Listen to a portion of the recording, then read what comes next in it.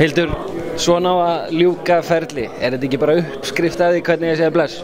Þetta er gó- góð uppskrift. Þetta er mjög skemmtilegt að vera hætta á þessum tímapunkti, held ég. Ég var búin að ákvæða fyrir veturinn að þetta er í síðans tímbilið, ákvæða njóta þess að spila og hafa gaman að þessu og hérna, og svo gekk bara mjög vel og, og, og þetta er bara mjög, mjög skemmtilegt. Við hérna erum búin að vera með Karan.is núna í hartnær tíu ár og orðið þess heiðus aðnjótandi að fá að fylgjast með þér.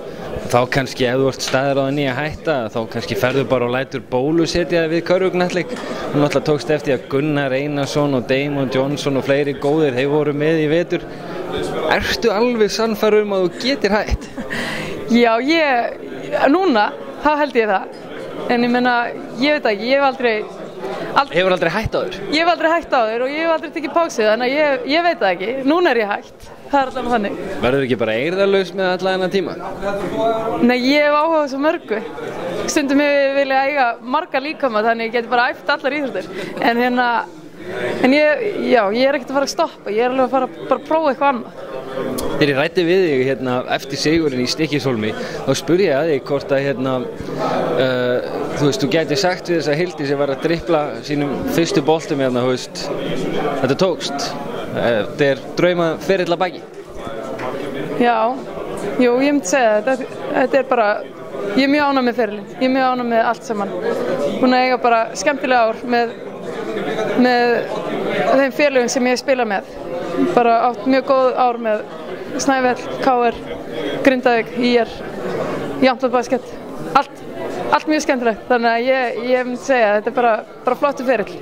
Það var líka hérna, og kom líka fram í máliðinu sumstaðar að, að þessi fyrsti titill sem fór í Stikjusól á þar síðustu leiktíð Páll Óskar að taka We Are The Champions verið framann heima krátið og svona þetta er, þú segir að þetta sé einn svona, svona þeim minningum sem fara hæst á, á heilina Já, ég myndi segja það. það voru, við fórum, það voru svona áföll og annað sem við fórum í gegnum í úslakefninni í fyrra og spilum nánast alla keppnina kanalöksar og það er ekkert mörg lið sem hafa gert það. En við í Hólmunum gerðum það í fyrra og það var bara virkilega skemmtilegt. Þó ég, þú veist, þessi titill var líka bara virkilega flottur. En hérna, þannig að þetta er bara magna afrök í Hólmunum að hérna, tvo Íslandsmeistartitla, tveimur árum. Þetta er bara magna. Glæðislegt, Hildur áður en við hérna sleppu þér uh, sko staðin á, á kvennakörubólta á Íslandi ertu er, hefur þú orðið við öðru mikla breytingar frá því að þú byrjaðir að spila og, og svona er þetta kannski einhver hlið á boltanu sem þú ætlar að fara að skipta af? Sko, þetta er alltaf einhverja breytingar og bara eins og öðrum íþrótt, íþróttagreinum. Uh, það eru breytingar í þjálfun og hvað leikmenn er að leggja á sig og annað.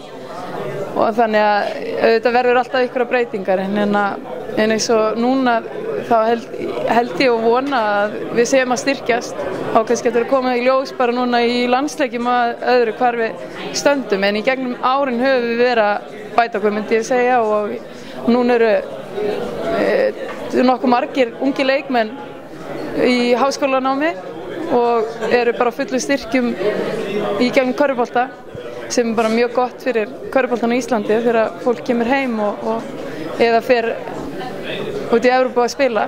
Þannig að þá styrkjast landslegin en hérna en já, ég held að sé uh, yngri leikmenn er að fá betri þjálfun og, og fleiri æfingar held ég með betri æfingaðstöðu og annað og, og þá verður, verður þetta allt betra Verður allt betra, segir Hildur og hérna, við kannski sjáum þig síðar í búning, hver veit, það vart ekki búin að láta bólusetja þig. Takk hérlega fyrir. Takk fyrir